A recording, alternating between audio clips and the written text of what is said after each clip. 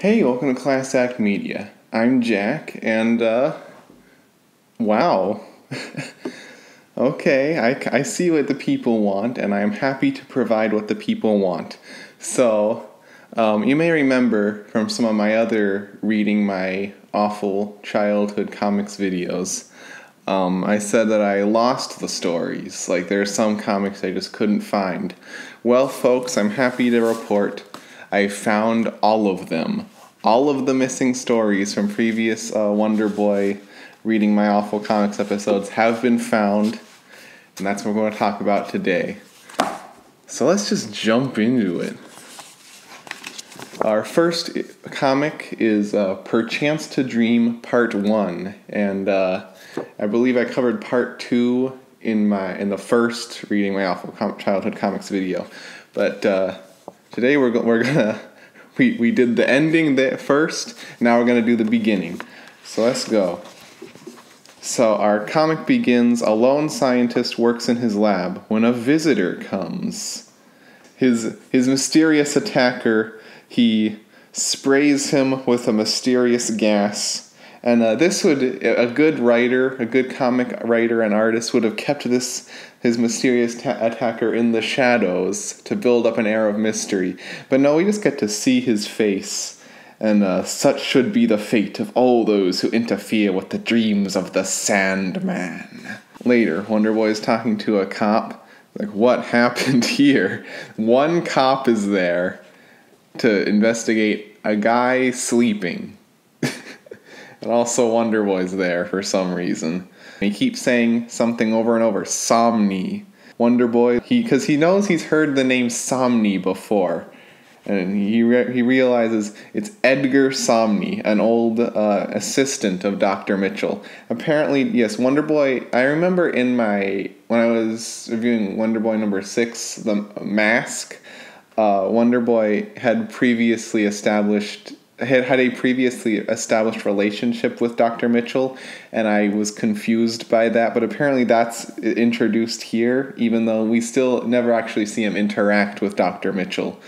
He just says that he knows him and he has a history with him. So he looks up Edgar Somni. He finds his address. So they go to his, his house. And of course, he's there. Of course, Edgar Somni is just at his house after committing a crime in full Sandman getup, complete with the the uh, his gas weapon, his dream weapon. Of course, he's just standing there in the dark, waiting for someone to come find him because his evil plan kind of stopped at attacking Dr. Mitchell. Now he's just winging it. Wonder Boy says, What did you do to Dr. Mitchell, Somni? And he's like, to explain my actions, allow me to explain a bit about my past. So, yes, he basically just says, Time for my evil backstory. You will stand there and listen while I explain myself to you.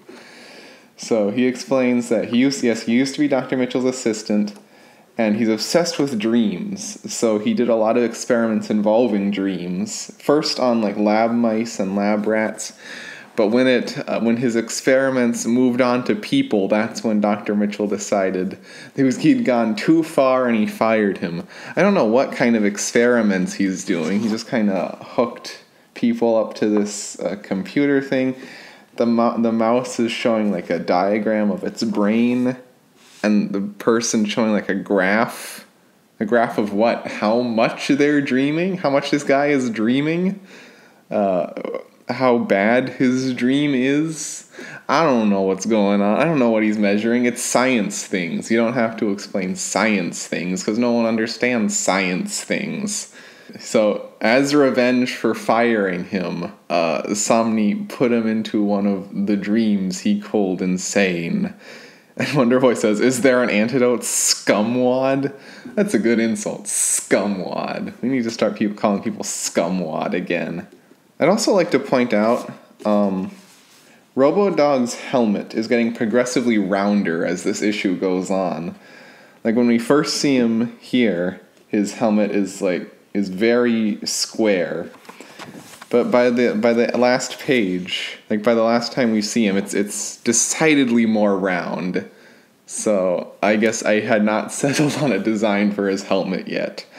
Sandman says, Yes, of course, there's an antidote. I have to take it every day so I don't get affected by my own dream gas.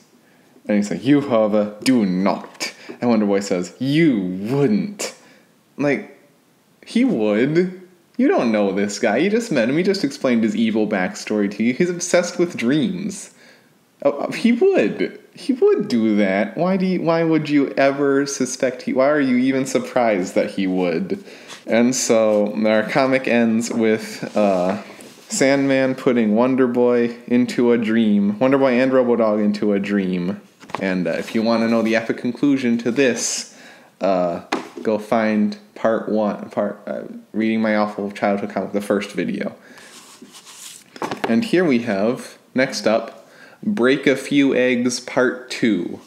I went over this the first part in uh, reading my awful, reading more of my awful childhood comics video, and uh, so just to recap, um, a new villain known as the Eggman shows up, and uh, he's from an old TV show. He's an actor from an old TV show, and uh, he is committing crimes based on the crimes his character committed in the old TV show. And uh, when we last left him, Wonder Boy had uh, tracked him down to his evil lair in a chemical plant, and he had dropped a grenade into a vat of chemicals. So, what's Wonder Boy gonna do to get out of this? Well, he just grabs him and flies away. That's all he does. That's his plan. he grabs him and flies away, and it, it works. Chemical plant blows up. Eggman says, You can't save me. You're going down with me. I can't kill a superhero by myself. The only way to do it is to go down with the ship. So I guess he's willing, Eggman, I guess he wants to die. He's willing to sacrifice himself so criminals everywhere don't have to live in fear of Wonder Boy anymore. You know, that, that's very selfless of him.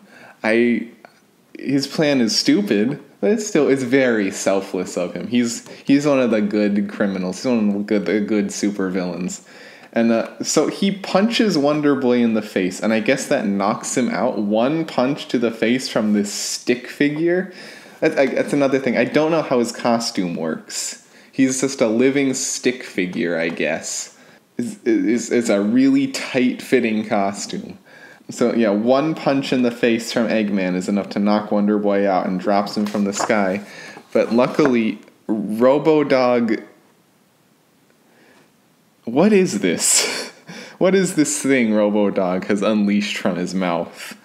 It it's it's got a hook and a hand. A hand the hand grabs Wonder Boy and then there's just an added hook there to catch Eggman. It's the most oddly specific util- like a tool Robodog has ever used. Like he's used a lot of weird stuff coming out of his mouth, but that's the most oddly specific thing he's ever done. And we we just smash cut to Eggman and Wonder Boy on the ground, and Eggman's throwing a temper tantrum. He's like, "No, no, no! I wanted to die." and Wonder Boy's like, "Oh yes." And he's like, "Well, you're not taking me to prison." He drops a smoke grenade, and that's enough to get away from Wonder Boy. Wonder Boy's a very ineffectual superhero.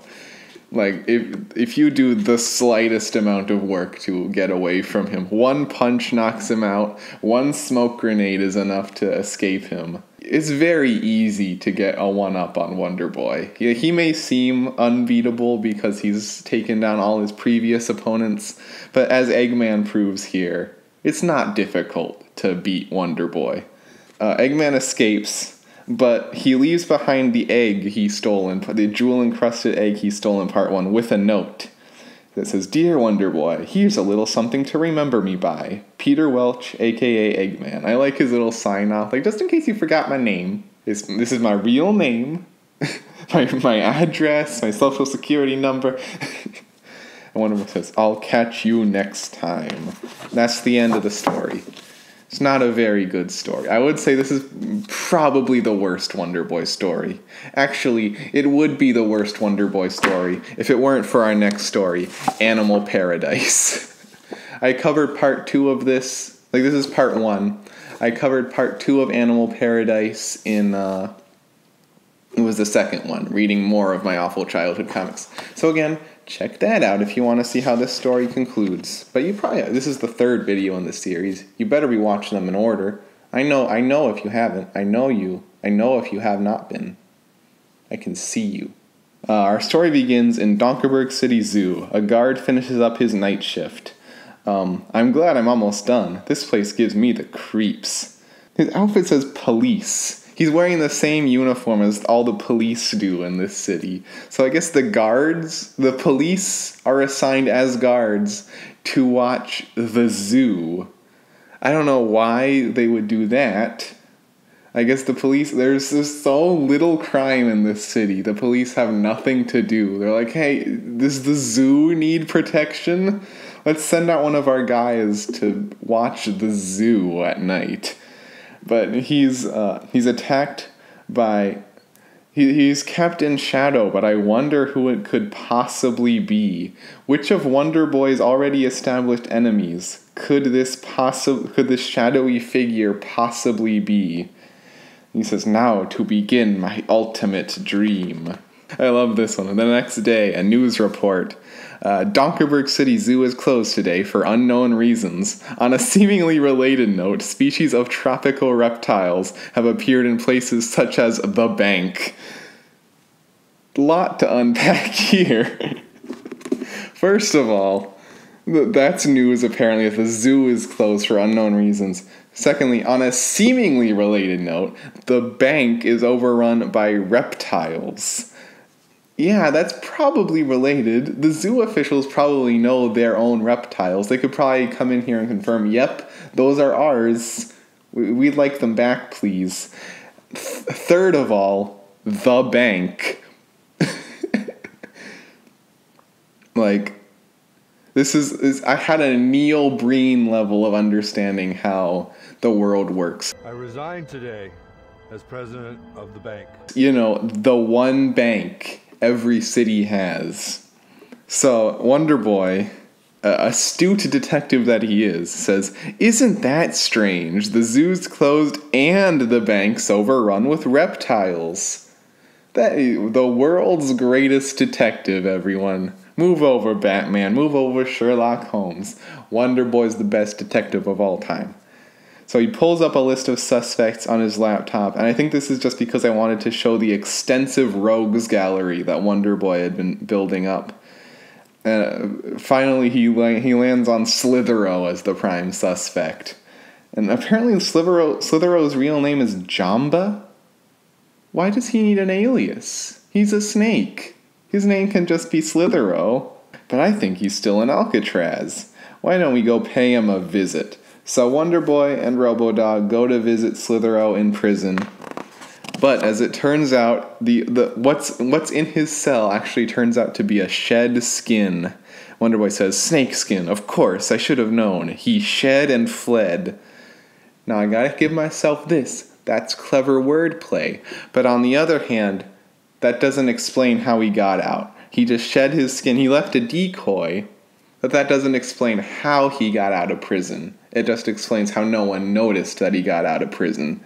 So they Wonder Boy and Robodog go to the zoo, which really should have been the thing they did first. Why did why did they spend the time confirming it was Slithero before going to the place where the animals were coming from? You know, they probably could have figured out who it was without having to confirm that Slithero had escaped. You know what I mean? I'm not a good writer. I mean, I hope I've gotten better. Read Dark Phantom coming DVD.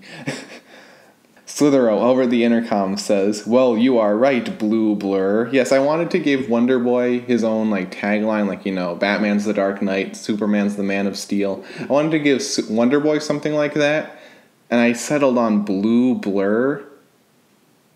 I'm pretty sure I already knew that Sonic had taken that name. I just didn't care. I'm a filthy plagiarist. Wonder Boy gets surrounded by uh, Slithero's tiger henchmen, who so he establishes that he's given him the same, given them the same uh, serum that turned made him intelligent.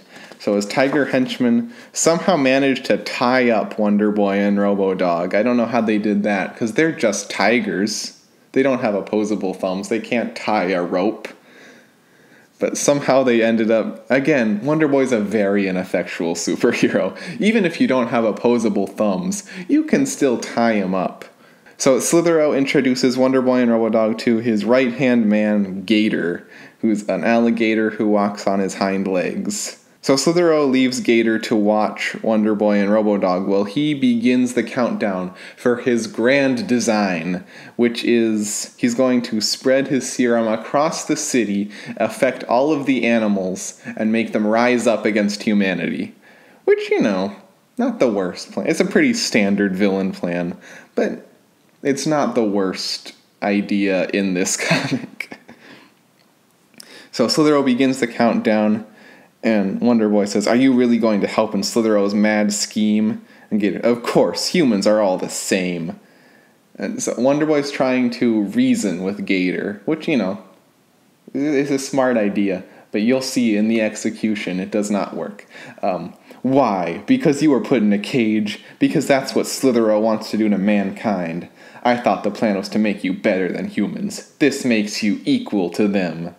And Gator that's enough. That is enough to completely change Gator's mind. Like he does a complete heel turn because Wonder Boy said a couple sentences to him and he rips him free from the pole and offers to help him stop Slither-O's scheme. This is the best redemption arc in all of comics. We have no time to lose. Gator, I need to know. Can I trust you? Um, you kinda have to. Yeah, I guess I do. No, you don't. You don't have to trust him. You could easily run in there, punch Slither-O in the face, and stop the countdown yourself. He's. You don't need to trust him. But the story is concluded nonsensically um, in Animal Paradise Part 2, which I cover in reading more of my awful childhood comics. And I have one last treat for you all. Um, it's not a Wonder Boy comic, but Wonder Boy is in it. This is the Night Watchman number one, The Team Assembles. Basically, this is my. I had a lot more superhero characters. I still have a lot more superhero characters than Wonder Boy. And uh, this was going to be my Justice League, my Avengers. You know, this is the big team up of all of them. So, let's just dig in. So our story begins no establishing shot, no opening narration, not even something to tell us where we are. Not even a little editorial blurb to tell us where we are. It just starts right in the middle of the story. A group of villains is uh, in a room being talked to by a shadowy figure who says, Hello, fellow super criminals. I have called the greatest in our profession together. Profession is spelled wrong. I just want to clarify right now. I spelled profession wrong. There's a few uh, spelling errors in this comic, I believe. This comic specifically. Out of nowhere, because, again, these comics, they come in like bulk, and you can't change the uh, layout of the panels. So you kind of have to work with what you get, and since the second panel in every comic is a big whoa kind of shape. I had to make a big whoa kind of moment in the second panel of every one of my comics. And so in this one, I chose another villain named Jurassic Parker barging in, the smashing through the wall. Be like, yeah! And the shadowy figure's like, oh yeah, Jurassic Parker, I forgot I invited you. oh yeah, he's here. Oh boy. So he lists off the names of all of his supervillains he's assembled. Dr. Monkey, who he's the only one we've met so far. He's appeared in Wonder Boy comics before. The Leprechaun, Desmond Elroy, Tech 2.0, Krypto, and of course our, our friend Jurassic Parker. Um, the six of you are the trial run for my team of chaos. Together, we will take over the world. What's in it for us? What's in it for us? He just said what's in it for you. We're going to take over the world. Are you not paying attention? And he basically reiterates, yes, we're going to take over the world. That's what's in it for, for you. And Tech 2.0 says, that's good for me. Where do I sign? And apparently he has contracts. like, when he says where do i sign? I, this shadowy figure took it literally. Like you will sign a contract with me. Is there like a non-compete clause? You won't you won't join any other supervillain teams as long as you're part of the dominators. They they're all signing and outside is sitting the dark phantom saying hmm i may need some help. And uh if you watched my announcement video or follow me on Twitter, you'll know the Dark Phantom has a very different design these days than this mask and robe. But he still has the hat. He's still got the hat. I love the hat. So we cut to Donkerberg, spelled differently than usual. And there's supposed to be an H, I believe, between the A and the N. But uh, Wonder Boy and Mega Girl, who also has not been established in the Wonder Boy comics, but uh, she's his. She's another one of the Wonder Boy family. She has no powers. She's his classmate Sally McLean, who I believe was was introduced in School of Hard Knocks. That's what the story was called. But we really didn't see much of her in the story, and she certainly never became Mega Girl. But she, she's Mega Girl here, and they're tracking down Sandman. But an inner uh, message comes in from Dark Phantom saying, Wonder Boy, Mega Girl, I need you here. Drop everything and come to New York. Like, what? But Sandman is loose. And Dark Phantom says, Let Gator handle it. I need you in New York. Yes, let Gator handle it. The, the former supervillain who reformed for no reason that you blindly trust now. Let him handle the dangerous mad scientist. And so we cut to Chicago, where another one of my teams, the Furious Five, is standing around, uh, also receiving a call from the Dark Phantom. And okay, so most of their designs remain. I mean, they're I've changed, I've tweaked them obviously, but most of these designs remain the same. I think I, I think I actually have a recent-ish drawing I've made of the Furious Five. But what what is Brain wearing? What is the Brain wearing? What is this dome? This giant dome over her head? Like I've I've she still has that on her costume, but I've significantly reduced the tallness of that ridiculous hat. What was I thinking? How does that poor woman get through doors? And uh, we cut to Los Angeles, where another one of my super, superheroes, Tech, and uh, yes, if an astute mind might realize, Tech 2.0 is an enemy of Tech. and he says, New York? Of course. So we cut to all of them. Apparently, Wonder Boy's in Ohio, the Furious Five are in Illinois, Tech is in California. They're all taking the same route to Calif- to New York, apparently. And uh, so they're all meeting up at the same time, which should not be possible given they're all of their relative distances from New York, but whatever. Captain Quick says, Any idea why Danny Phantom called this meeting WB? Get it? Danny Phantom. Like Dark Phantom. Captain Quick's cool. He's making references. And Wonder Boy says, Wonder Boy's design has changed in between panels. Like, look, his eyes are different. His mat, the p- position of the W on his mask is different. Speaking of design changes, the brain's helmet is has shrank. I fixed it. I fixed that horrible design. Captain Quick introduces himself as Captain Quick, captain of the Furious Five. And his friend Lightning Joe says, No, you're not. Shut up, Joe. I'm the only one with captain in their name in the five. That's cute. I like that. He's, he's got he's called captain. He he wants to call himself the captain of the Furious Five. I like that. It's cute. Let's see what Dark Phantom has for us. And you can see the warehouse they're walking into says Lancaster Enterprises. I'm pretty sure Enterprises is spelled wrong on this. Like th- there's an I where there should be an E. Who knows though? Maybe I spelled it right before and I've gotten worse at spelling as I age. But I'm pretty sure it's spelled wrong. so they walk into the warehouse and he says, This is it? I was expecting more from a multimillionaire. But some mysterious scan sequence initiates and starts naming all of them Wonder Boy, Mega Girl, Robo Dog, Lightning Joe, Captain Quick, Brain, Invisilady. Her name has changed. I think I call her Lady Light now. Invisilady is a terrible name. Don't. It's, a t- it's, it's bad. Um, Elastic Man and Tech all cleared for entrance. Elevator going down. and so that our I stopped. I didn't even finish coloring this panel. Destination reached. Welcome, Night Watchman. And that's the story. I never finished this comic. I didn't even fin- I stopped mid panel. And that's it. That's all the comics I have ever written, or ever completed anyway, uh, involving Wonder Boy. And look, these characters, I still have plans for them. Obviously, you've seen I'm working on something involving Dark Phantom, but I've got plans for all of them. I want to bring Wonder Boy back. I want to bring the Furious Five back. I want to bring Tech back.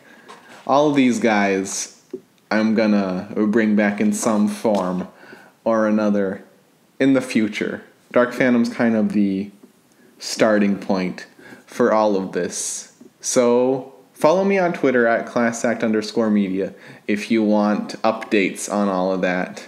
And uh, these reading my old comic videos do really well, but this is all of the Wonder Boy comics I have. I wrote more.